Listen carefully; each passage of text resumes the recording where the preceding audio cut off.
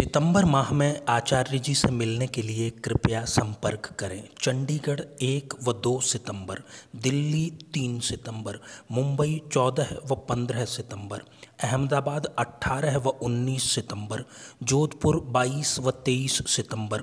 इसके अतिरिक्त telephonic appointment भी उपलब्ध है। संपर्क zero nine five two nine zero two zero triple मेरे बेहद प्रिय साथियों, नमस्कार, अभिनंदन, स्वागत।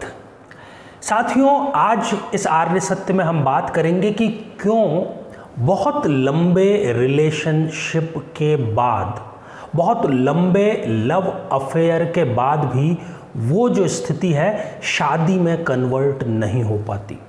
मेरे पास में, मेरे अनुभव में ऐसे ऐसे केसेस आए हैं जिसमें पाँच साल से लेकर के दस दस, बारह बारह सालों तक जो अफेयर था वो चला, परंतु किसी भी कारण से विवाह नहीं हो पाया।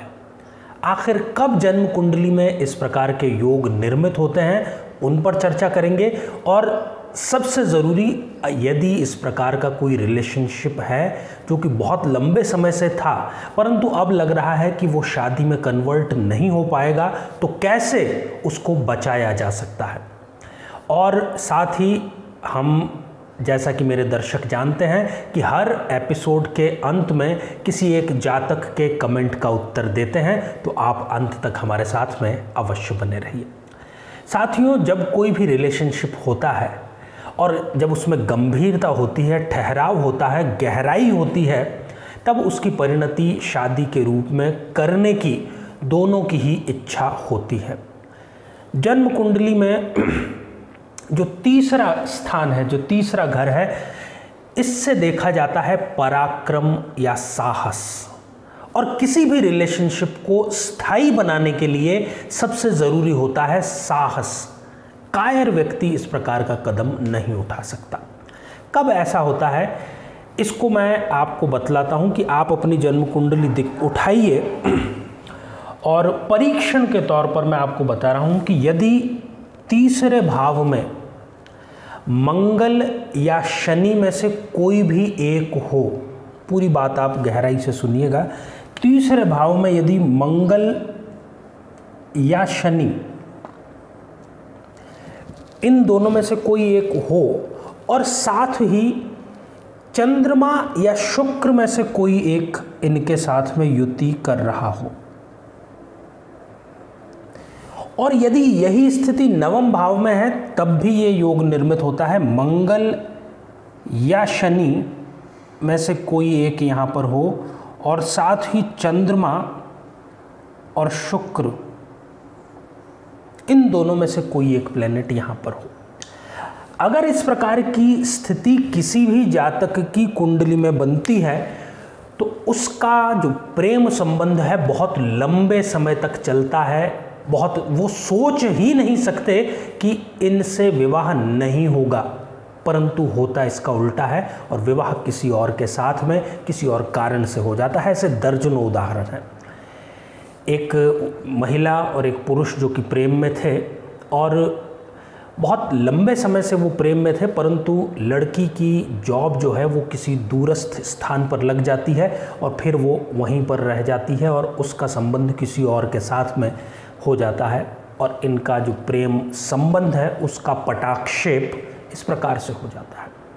एक दूसरे उदाहरण में लड़की के जो घर वाले हैं, वो बिना बताए सबको अंधे में, अंधेरे में रख करके उस लड़की का विवाह कहीं और कर देते हैं। जबकि वो जो प्रेम संबंध था, वो लगभग आठ वर्षों तक चला था। ऐसे ही और भी कोई ना कोई कारण बन जाता है। एक केस में लड़का जो है, वो विवाह करने का इच्छुक था। परंतु उसके घर पर अपने स्वयं के परिवार की ज़िम्मेदारी इतनी आ गई कि वो चाहते हुए भी ऐसा नहीं कर पाया और उसका लगभग बारह वर्षों, तेरह वर्षों का जो प्रेम संबंध था, वो पटाक्षेप हो गया। तो हमने आज ये जाना कि यदि इस प्रकार का कोई संबंध होता है, कब होता है? तो यदि इस प्रकार की कोई स्थिति आपकी कुंडली में भी निर्मित हो रही है तो आपको घबराने की बिल्कुल भी आवश्यकता नहीं है।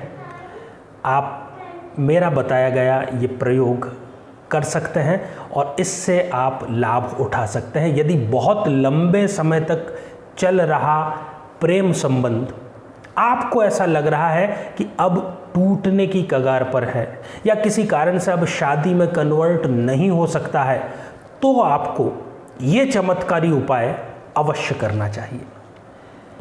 ये उपाय इस प्रकार है कि तीन पूर्णिमा तक लगातार आप दोनों को, जो आप दोनों रिलेशनशिप में हैं, किसी भी शिव मंदिर में जाकर के अभिषेक करना चाहिए। और माता पार्वती और महादेव से यही प्रार्थना करनी चाहिए कि हमें जो है इस रिश्ते को विवाह में कन्वर्ट करना है, इसको स्थायी बनाना है। तीन पूर्णिमाएँ, अर्थात तीन माह चमत्कार होता हुआ आप स्वयं अनुभव करेंगे और विवाह बंधन में आप बंधेंगे। तो साथियों, अब हम बढ़ते हैं आज के हमारे दूसरे चरण, जो कि है कमेंट का चरण। आज हमने कमेंट शामिल किया है जसप्रीत कौर जी का, जो कि हमें मिला है राजपुरा, पंजाब से। आपने जानना चाहा है कि आपका प्रेम विवाह हो पाएगा या नहीं हो पाएगा, और सरकारी नौकरी आपकी लग पाएगी या नहीं लग पाएगी।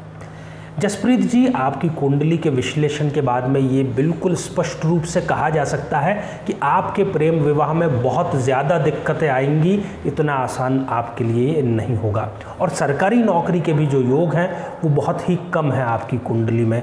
और ऊपर से आप मंगली हैं तो आपको कुंडली मिला के ख़ानदान देखे बिना विवाह नहीं करना चाहिए। आपको जो उपाय मैं बताने जा रहा हूँ, वो ये है कि जो एकादशी जो ग्यारस आती है, दोनों ही पक्षों की, हर माह दो ग्यारस आती है, उन दोनों ग्यारस पर आपको केवल एक समय भोजन करना चाहिए और मैं भी ईश्वर से आपके लिए प्रार्थना करता हूँ। तो साथियों, ये था हमारा आज का आर्य सत्य यदि आपको हमारा ये कार्यक्रम बेहतर जीवन की ओर ले जाने वाला लग रहा है तो हमारे इस चैनल को आप अवश्य सब्सक्राइब कीजिए और ज़्यादा से ज़्यादा लोगों तक पहुँचाने के लिए इसको शेयर कीजिए।